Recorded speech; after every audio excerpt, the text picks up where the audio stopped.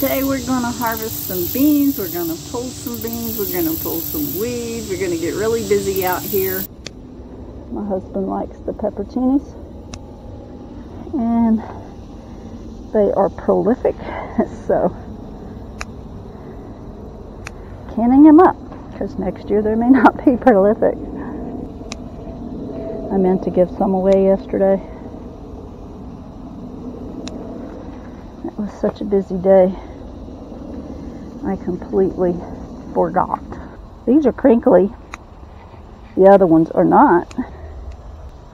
You pick these when they start crinkling. The ones we picked on the other plant, they don't crinkle. Well, they crinkle a little. These don't grow as long as that other plant. See?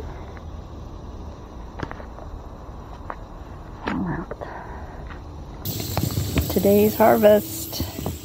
Did pull a couple of the big peppers. We've got blushing tomatoes. We got peas. We got pepperoncini peppers. We got got um, hybrid um, chablis and butter beans and butter peas. And if you're not careful, that thing will stick you.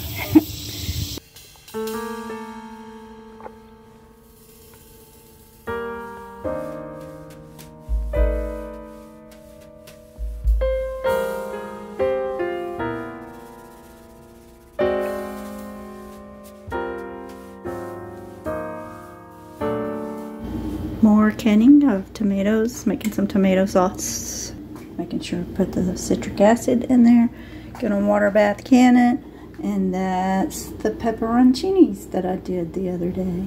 Glad you all came along to be with us. Please like, subscribe, and ring the bell for notifications.